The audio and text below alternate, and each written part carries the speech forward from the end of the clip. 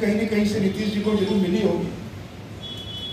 और लेकिन अरुण जेटली उनको साफ़ साफ़ कह दिया कि देखिए, हम सीबीआई के मामले में कोई हस्तक्षेप नहीं कर सकते। सीबीआई एक ऑटोनमस एक स्वतंत्र संस्था, संस्थान है। उसके किसी मामले में हम हस्तक्षेप नहीं कर सकते। और इसलिए बीजेपी ने उनको और किसी प्रकार की मदद करने से इनकार कर दिया। इसलिए कि वो हमारे दायरे के बाहर की और आप देखते हो कि उन दिनों लालू यादव ने नीतीश कुमार पर पूरा दबाव बनाने का प्रयास किया। और दबाव बना रहे थे कि मेरी संख्या अस्सी है तो आपकी तो इकहत्तर है। आप तो मेरी कृपा पर बिहार के मुख्यमंत्री हैं।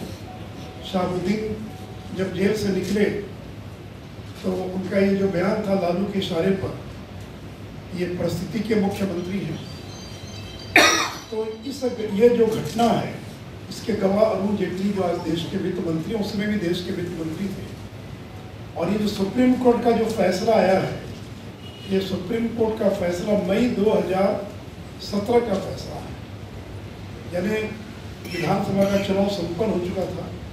बिहार में आरजेडी, जेडीयू, कांग्रेस गठबंधन की सरकार बन चुकी थी।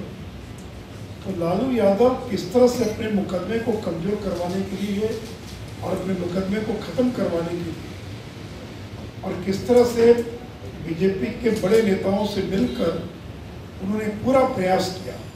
जैसे मैंने कहा कि जहाँ ये को कहते हैं कि मैं तो बीजेपी का और जनसंघ को मैं निस्तराबूद कर दूँगा मैं उनका विरोधी हूँ। मैं दो चार और घटनाओं का पुराना ज़िक्र करना चाहूँगा कि उन्नीस सौ तिहत्तर में जब पटना विश्वविद्यालय छात्र संघ का चुनाव हुआ तो मैं विद्यार्थी परिषद का उम्मीदवार था, लालू जी समाजवादी युवजन सभा के उम्मीदवार थे। और दोनों ने मिलकर, हम दोनों मिलकर चुनाव लड़े। समाजवादी युवजन सभा और एबीवीपी का गठबंधन था। हम लोग मिलकर कैंपेन करते थे, मिलकर चुनाव लड़े और चुनाव जीते। और चुनाव जीतने के बाद लालू प्रसाद यादव संघ कार्यालय गए धन्यवाद देने के लिए, क्योंकि संघ की बहुत बड़ी भूमिका थी उस चुनाव के अंदर। मैं ये दर्शा रहा हूँ कि लालू यादव जो विश्व वमन करते हैं, आरएसएस के खिलाफ या बीजेपी के खिलाफ। कैसे वो बीजेपी और आरएसएस की मदद लेते रहे? पॉलिटिकली बाहर से जो बोलते हुए और उसी प्रकार उन्नीस का जो जीपी आंदोलन था कि उन्नीस की जो इमरजेंसी थी, उसमें आरएसएस और विद्यार्थी परिषद के साथ मिलकर आंदोलन में शरीक हुए। कभी और कभी भी उनको परहेज नहीं था आरएसएस बीजेपी से। उन्नीस सौ सतहत्तर में जब छपरा से एमपी बने तो संघ की पूरी मदद ली उन्होंने।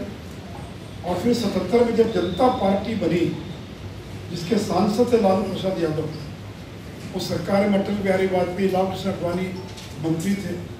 उससे उनको कभी परहेज नहीं था। यहाँ तक कि उन्नीस सौ नब्बे में जब बिहार में लालू प्रसाद मुख्यमंत्री बने तो त्रिशंकु विधानसभा थी, किसी को भी बहुमत नहीं था। बीजेपी के उनचालीस विधायक जीत कर आए थे। और बिना बीजेपी की मदद के लालू प्रसाद मुख्यमंत्री नहीं बन सकते थे।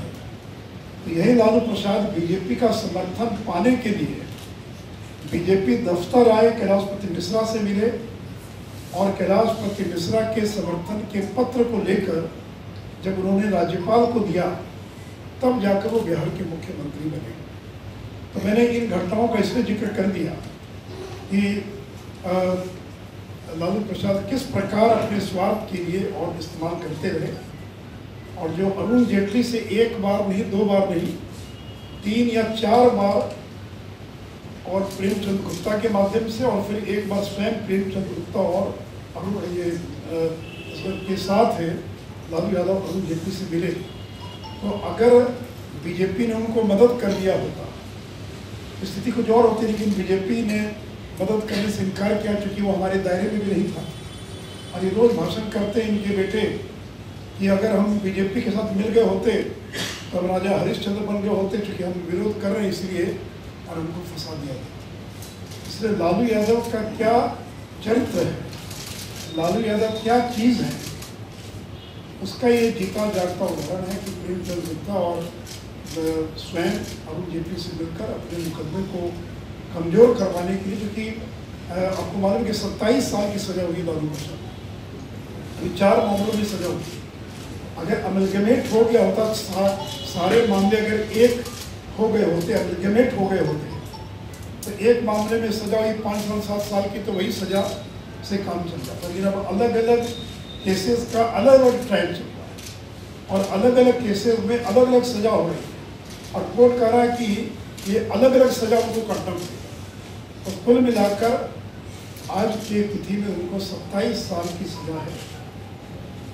वो ज़िंदगी का बड़ा हिस्सा जो है उनको जेल के भीतर व्यतीत करना पड़ेगा। इसलिए बीजेपी की मदद लेने में कभी वो नहीं हिचकिचाए। बात अलग है कि बीजेपी ने ये कहा कि हम भ्रष्टाचार से समझौता नहीं करेंगे और किसी भी कीमत पर हमको लालू प्रसाद साहब ठीक है उन्नीस सौ नब्बे में उस समय की परिस्थिति में और छात्र नेता रहे, एम बने थे, हम लोगों ने कर लिया लेकिन बीजेपी किसी भी कीमत पर राष्ट्रीय जनता दल के साथ कभी भी और हाथ नहीं जा सकती है। इसलिए मित्र, मुझे लगा कि जब नए नए रोज खुलासे हो रहे हैं मीडिया के अंदर, ये बात पिछले एक डेढ़ साल से मुझे पूरी जानकारी थी अरुण जेटली ने स्वयं मुझे सारी चीज़ों की जानकारी मुझे देते रहे। संजय झा भी एक उसमें पात्र थे उनको चीज़ों की जानकारी थी और मेरे व्यक्तिगत संबंध उनके माध्यम से भी जानकारी मिलती रहती थी। मुझे लगा कि वो समय आ गया है जिस समय इस मामले को और मीडिया के सामने और उजागर किया जाना और आवश्यक है।